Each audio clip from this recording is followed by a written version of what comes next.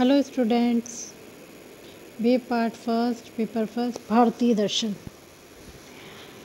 इससे पूर्व के लेक्चर में हमने चार चारवाक दर्शन के सामान्य परिचय और उसकी प्रमाण मीमांसा पर चर्चा की थी। आज हम बात करेंगे चार चारवाक दर्शन की तत्व मीमांसा या चार चारवाक दर्शन के तत्व संबंधी विचार।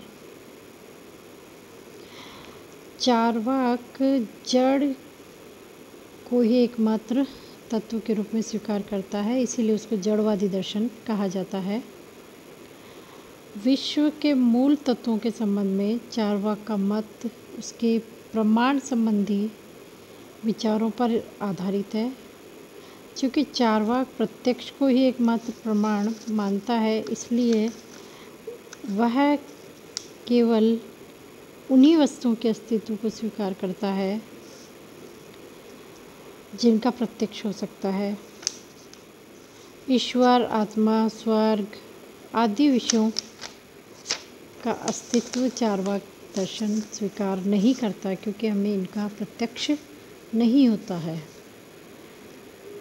चारवाक के अनुसार हमें केवल जड़ द्रव्यों का प्रत्यक्ष होता है, अतः केवल उन्हीं को मान सकते हैं। इस प्रकार चारवाक जड़वाद का प्रतिपादन करते हैं। उनके मत के अनुसार जड़ ही एकमात्र तत्व है।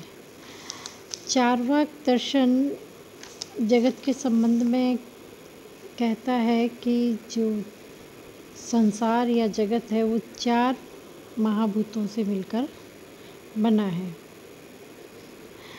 जड़ जगत के निर्माण के संबंध में अन्य भारतीय दार्शनिकों का मत है कि आकाश, वायु, अग्नि, जल तथा पृथ्वी, इन पाँच भूतों से यह जगत निर्मित है। किंतु चारवाक आकाश के अस्तित्व को नहीं मानते, क्योंकि इसका ज्ञान अनुमान के द्वारा होता है, प्रत्यक्ष के द्वारा नहीं। अतः चारवाक के अनुसार संसार चार प्रकार के प्रत्यक्ष भूतों से निर्मित है। इन तत्वों से केवल निर्जीव पदार्थों की उत्पत्ति नहीं हुई है, बल्कि सजीव द्रव्य भी इन्हीं से उत्पन्न हुए हैं। चारवाक दर्शन आत्मा के अस्तित्व को भी स्वीकार नहीं करता है, क्योंकि वो केवल प्रत्यक्ष को एकमात्र प्रमाण मानता है और उसके अनुसार कोई आत्मा का हमें प्रत्यक्ष नहीं होता। चारवाक के अनुसार प्रत्यक्ष एक मत प्रमाण है। प्रत्यक्ष दो प्रकार के हो सकते हैं, बाह्य तथा मानस।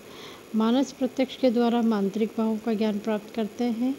इस तरह आंतरिक भावों के ज्ञान से चेतना का भी प्रत्यक्ष होता है। चेतना बाह्य जड़ द्रव्यों में नहीं पाया जाता।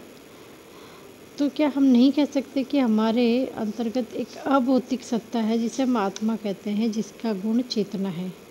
चारवाक स्वीकार करते हैं कि चेतना का ज्ञान प्रत्यक्ष के द्वारा होता है, किंतु वे यह नहीं मानते कि चेतना किसी अभौतिक तत्व या आत्मा का गुण है। आत्मा का तो कभी प्रत्यक्ष नहीं होता। जड़ तत्वों से बने जो हमारे शरीर हैं, केवल उन्हीं का प्रत्यक्ष होता है। चेतना हमारे शरीर के अंतर्गत है, इसलिए चेतना को शरीर का ही गुण मानना चाहिए। चेतना को शरीर, चेतन शरीर को ही आत्मा कहना चाहिए। इसीलिए चारवाक कहते हैं कि चैतन्य विशिष्टो देह एवं आत्मा। अर्थात चेतना से युक्त जो देह है, जो शरीर है, वही आत्मा है। आत्मा और शरीर के तादत्म्य का ज्ञान दैनिक अनुभवों से भी प्राप्त होता है। जैसे मैं मोटा हूँ, मैं लंगड़ा हूँ, मैं अंधा हूँ, ये वाक्य आत्मा और शरीर की एकता को प्रमाणित करते हैं। यदि आत्मा शरीर से भिन्न हो तो इन वाक्यों का कोई अर्थ नहीं रह जाता। यहाँ यह आक्षेप किया जा सकता है कि चेतना का अस्तित्व तो किसी भी जड़ तत्व में नहीं पाया जाता, और जब तत्वों में ही इसका अभाव होगा तो उनके योग से बने हुए शरीर में इसका प्रादुर्भाव कैसे हो सकता है? चारवाक इसका उत्तर देते हैं कि जड़ तत्वों के संयोग से किसी वस्तु का निर्माण होता है। ये संभव है कि तत्वों में यदि किसी गुण विषय का अभाव भी रहे तो उसकी उत्पत्ति उस निर्मित वस्तु में हो सकती है। उदाहरण के लिए जैसे पान, चूना, सुपारी में लाल रंग का अभाव होता है, किंतु इनको जब एक साथ चबाया जाता है तो उनमें लाल रंग की उत्पत्ति हो जाती है। एक ही वस्तु को भिन्न भिन्न परिस्थितियों में रखने से भी उन, उसमें नए नए गुणों का आविर्भाव हो जाता है। उदाहरण के लिए, गुड़ में मादकता का अभाव है, किंतु गुड़ सड़ जाने पर वह मादक हो जाता है। इसी प्रकार जड़ तत्वों का भी सम्मिश्रण, यदि एक विशेष ढंग से हो तो शरीर की उत्पत्ति होती है और उसमें एक नए गुण चेतना का उदय होता है। आ, शरीर से भिन्न आत्मा का कोई प्रमाण नहीं है। शरीर से भिन्न यदि आत्मा का अस्तित्व नहीं है तो उसके अमर या नित्य होने का भी प्रश्न नहीं उठ सकता।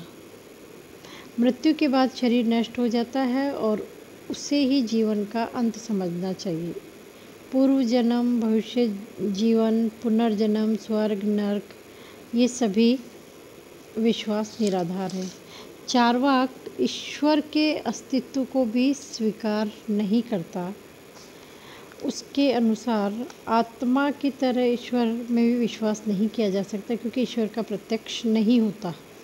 जड़ तत्वों के मिश्रण से संसार की उत्पत्ति हुई है।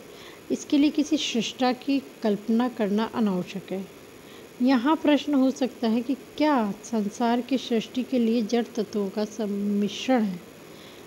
आप अपने आप हो जाता है। किसी भी वस्तु के लिए उपादान कारण के साथ साथ निमित्त कारण की भी आवश्यकता होती है। चार वाक के अनुसार चार भूत हैं, वे केवल संसार के उपादान कारण हैं। इसके अतिरिक्त निमित्त कारण ईश्वर की आवश्यकता होती है, जो इन उपादानों को लेकर इस विचित्र संसार की सृष्टि करता है। इसके उत्तर में चार वाक कहते हैं कि जड़ तत्वों का स्वयं अपने आप में अपना स्वभाव होता है और अपने स्वभाव के अनुसार ही वे संयुक्त होते हैं और उनके स्वतः सम्मिश्रण से संसार की उत्पत्ति होती है। इसके लिए किसी ईश्वर की आवश्यकता नहीं है।